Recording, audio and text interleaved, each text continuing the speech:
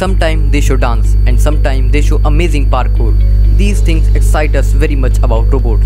And I bet many of us have thought, can we buy it? How much will it cost? Let's look, can we buy world's most advanced robot?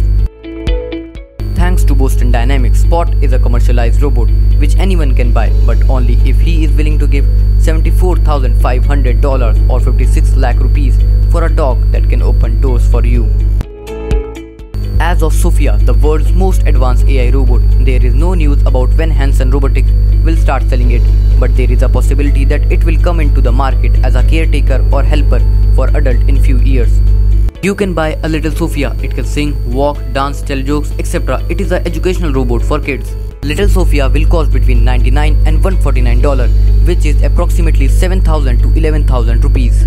Subscribe to Curiosity Feeds if you want to get more amazing knowledge about science and futuristic technology.